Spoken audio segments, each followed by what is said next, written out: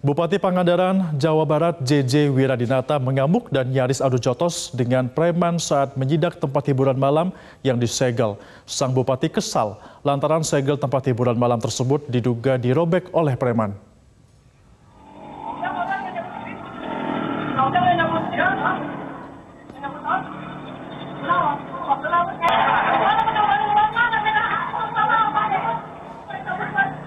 Dapat Anda saksikan pemirsa ini merupakan video amatir yang dimiliki oleh warga yang mempertontonkan keributan di tempat hiburan malam di Blok Astana Buddha Pamugaran, Desa Wonoharjo, Pangandaran.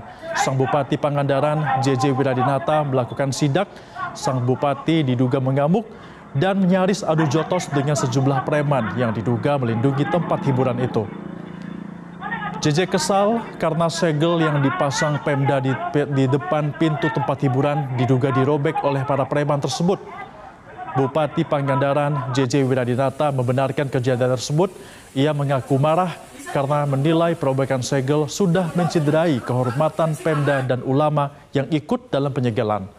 Sebelumnya 33 kafe atau warung remang-remang di desa Wonoharjo ditutup karena terindikasi melakukan praktek prostitusi. Wajarlah saya marah. Karena segel itu adalah simbol yang simbol kehormatan, bukan hanya Pemda. Para ulama juga masang itu bareng, masang bareng lembaga lembaga masang bareng di situ. Ya saya tanya, dia kenapa dibuka? Manggil saya A, eh pas manggil saya A. Kan ada putusan pengadilan, keputusan pengadilan yang mana? Masih doang maka sebagai biasa orang Sunda lamun makan wae diusap pun kan? Hmm. diusap lah muka sama saya gini. Tinggal ditonjok diusap istighbar Hah? istighbar iya kamu sabar itu kamu salah. Kalau ngomong dia pas saya salah terus maaf